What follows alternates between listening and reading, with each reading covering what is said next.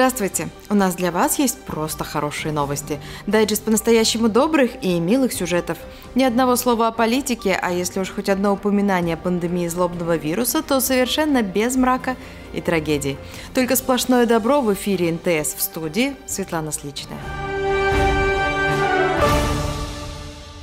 Фотограф из Лондона Кирсти Митчелл уже много лет занимается разработкой собственного фотопроекта под названием «Страна чудес».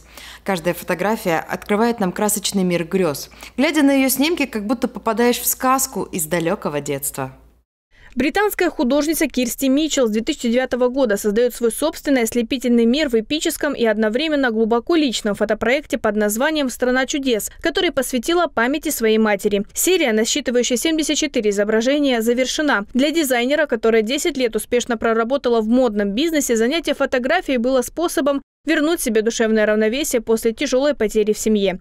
Кирсти Митчелл начала создавать сложные сказочные постановочные сцены, в которых органично переплелись реальные ландшафты родного Сурея и сюрреалистические детали. Например, в них включены пышные фантастические наряды, созданные вручную тонкие яркие портреты загадочных женщин, над лицами которых, похоже, потрудился талантливый визажист.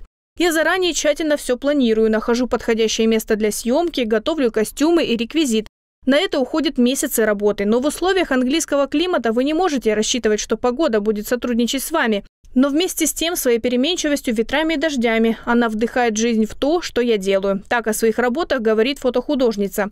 Страна чудес Кирсти Митчелл завоевала международное признание. Они пишут статьи BBC News, Vogue Italia, Harper's Bazaar и Guardian. Работы Кирсти Митчелл завоевали множество наград. В ближайшее время планируется выход роскошного полиграфического издания избранных работ.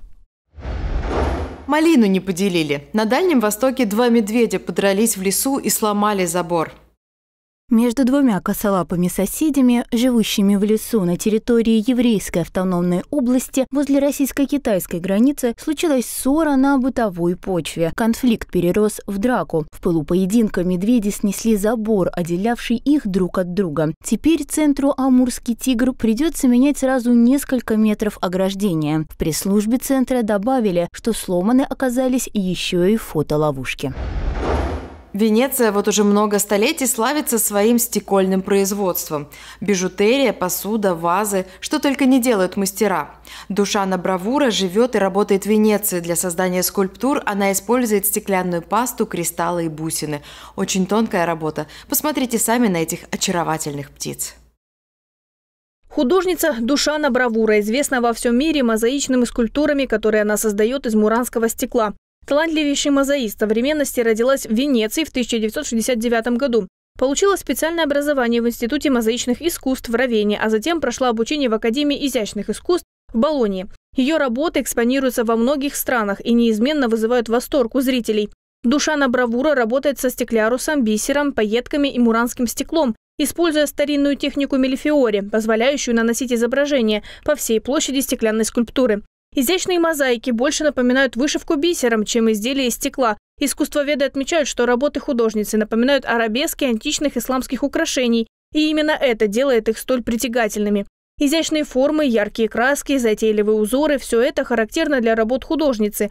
Волшебный мир, рожденный фантазией автора, оживает на наших глазах. Остается лишь поверить в сказку и наслаждаться необыкновенной красотой этих райских птиц. Фестиваль света – одна из главных достопримечательностей цветочного парка Набама-Носата японского ботанического сада.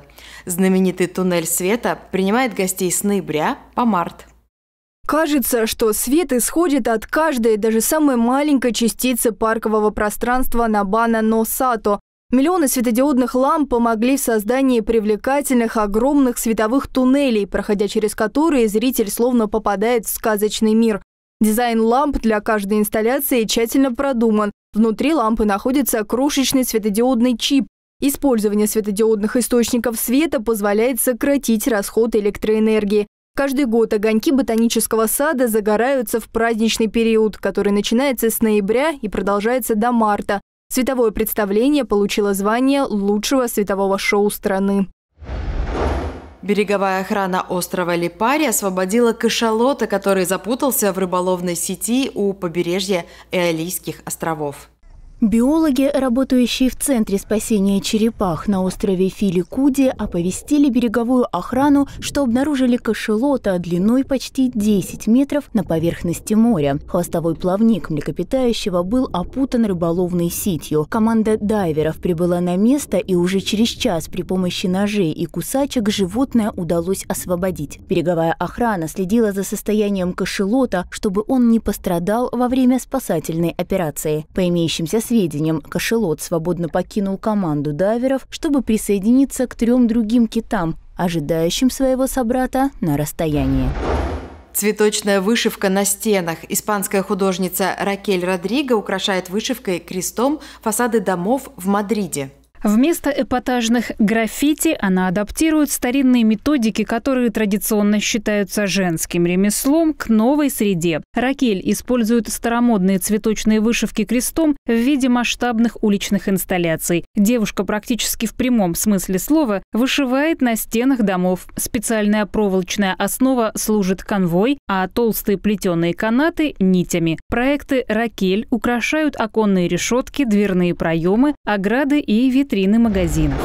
А в Хеленсбурге малышка Коала впервые выглянула из маминой сумки и завоевала тысячи сердец по всему миру. Австралийский парк дикой природы Симбио в Хелесенбурге опубликовал видео, на котором очаровательный детеныш Куаллы по имени Мэдди впервые вылезает из маминой сумки. Во время своей первой прогулки малышка сидела у мамы на животе, с интересом разглядывала листья и даже попробовала веточку эвкалипта на вкус. Опубликованное на Facebook видео набрало более 420 тысяч просмотров и 53 тысячи лайков. На сегодня это все. Смотрите дайджест добрых и милых сюжетов по будням сразу после вечернего выпуска Севинформбюро. Ну и, конечно же, в течение всего дня. Будьте здоровы и всего доброго.